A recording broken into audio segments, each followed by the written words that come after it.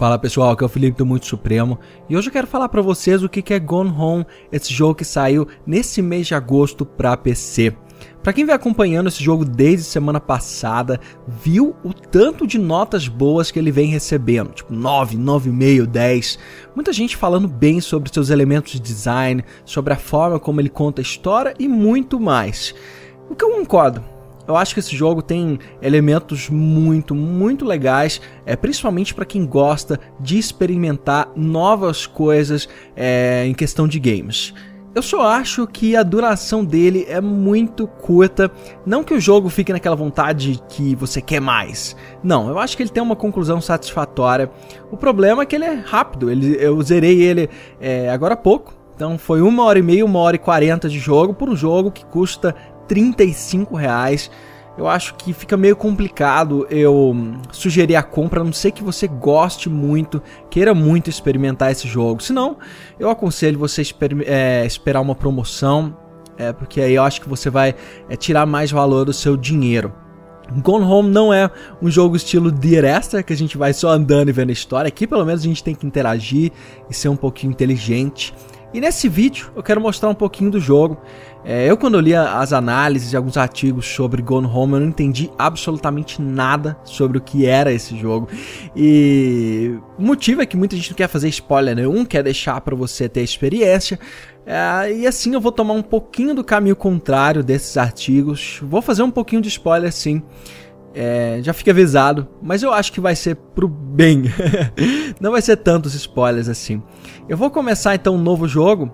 Vou jogar com o controle de Xbox 360. Você pode jogar com controle, o teclado e mouse normalmente. Eu só gosto de jogar com controle de Xbox 360 porque posso jogar sentado confortavelmente na minha cadeira à distância. Mas não é um jogo que requer nenhuma habilidade, nenhuma perícia. Então você pode jogar ele de forma bem tranquila com esses dois tipos de controle. Deixa eu só terminar o loading aí. Dá uma olhada na fita. É, a gente vai ver vários desses elementos dos anos 90 em Gone Home, porque o jogo acontece em 1995. Então a gente vai ver fitas cassetes, bandas e outras coisas. Uh, so I got my ticket home from Europe. I get back on June 6th, but it's a really late flight because that was the cheapest, so it gets in at midnight. But don't worry, I'll get a shuttle from the airport so you don't have to pick me up. Like, really, seriously, you don't have to. Okay, so, love you. See you soon. Bye.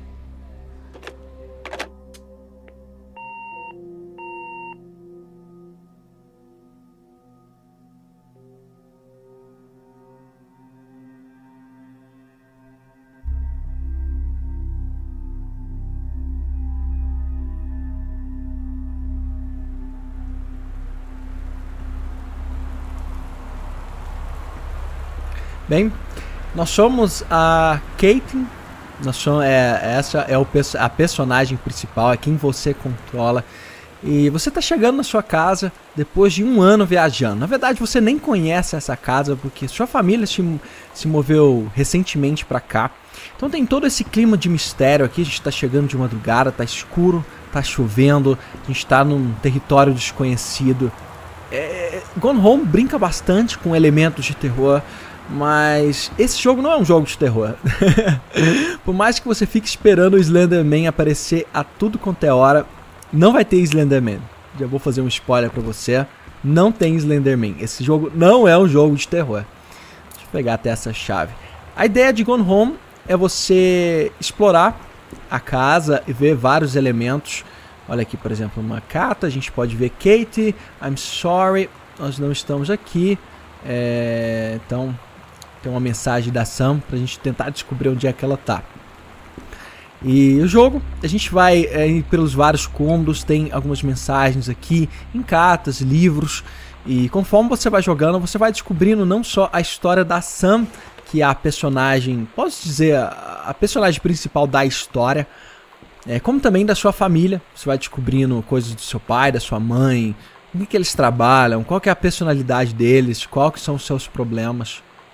Aqui a gente pode ver a gatinha aqui. Ó, a gente pode ver aqui a nota. E você tem que descobrir algumas coisas também. Então tem ah, um segredo de um cofre. E aí você vai ter que achar como é que abre. Então vai entrar numa espécie de uma passagem secreta. Dear Katie, so much has changed, even just since you've been away. We moved into this house. I'm in a new school. And my big sister being gone for a year doesn't make it any easier. It doesn't feel real. But I'm not gonna let it phase me. I used to tell you everything, and if I can't do it in person, because you're off gallivanting around who knows where, I'll tell it to this journal. Just like I was talking to you. Essa que vocês escutaram é a Sam. Então a gente vai acompanhar a história dela aqui eh, em Gone Home. É, a gente vai descobrir através dos vários diários que vão sendo revelados conforme a gente vai descobrindo certas partes, notas e coisas da vida dela. A gente pode inclusive mexer aqui na secretária eletrônica. Sam. Sam. Hello. Sam. Sam,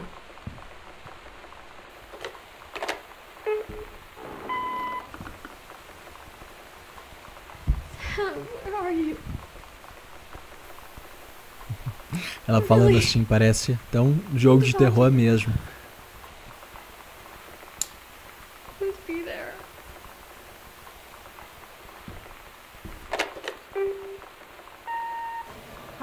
E a última é a mensagem da própria Katie.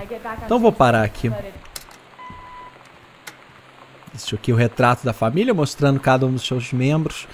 E o começo a gente vai explorar a casa, a gente pode começar aqui por baixo, depois subir, dar uma olhada nos quartos. Mas é um jogo cujo ritmo é bem tranquilo, sabe? É, você está sempre ah, olhando, é, pegando coisas, lendo papéis, notas, ouvindo os diálogos da, da Sam, descobrindo um pouquinho mais da história dela, da história oh my God. dessa família. so lucky you finished high school before we moved into this house. So, it's the first day of school, and there I am, introducing myself to the class. And I say that I just moved into the house on Arbor Hill. All of a sudden, every kid in the room turns and just stares like I suddenly transformed into a mutant. I just stood there, wishing pretty hard for a rewind button. Because now maybe nobody knows my name, but they all know who I am. The Psycho House Girl. Great. First Day of School. Você tem até uma, uma backpack onde você guarda alguns itens. Não é um jogo de aventura daqueles que você tem que realmente descobrir e combinar itens para resolver as situações. É mais uma questão de, ah, você tem o item, agora você pode acessar certa parte da casa. Eu gosto como o jogo não fala para você qual e como. Você tem que prestar atenção e você mesmo ligar os pontos. Eu gosto disso aí porque é um jogo que não que, que respeita a sua inteligência. É exatamente essa que é a expressão que eu quero, quero dizer. Ele respeita ele, a sua inteligência no sentido que você é, sabe conectar os pontos, sabe ir atrás das coisas e resolver os pequenos puzzles que você vai se deparar aqui no jogo. Aqui essa parte de baixo. O começo é bastante exploração, mas depois que você começar a explorar tudo, realmente as coisas vão ficando mais claras. Como eu disse, eu gosto muito da forma como esse jogo brinca com algumas das coisas de jogos de terror que tem, que a gente sempre espera o terror, sempre espera o monstro, sabe? E eu acho, eu, eu fico surpreso que não tem monstros. acho que é bom deixar isso bem claro, né? Eu acho que não vai atrapalhar tanto a sua experiência assim, não. Como disse, eu, eu gosto, eu tô falando um pouquinho, tô fazendo spoilers para que você sabe melhor sobre o que o jogo se trata. Eu tive muita dificuldade para saber do que, que era o jogo. Eu, eu simplesmente resolvi arriscar é, pedindo a chave lá para os desenvolvedores. Olha só. Eu não vou me tomar muito tempo aqui não, mas eu acho que já deu para você ver como é que é o ritmo do jogo. A história da Sam é muito boa.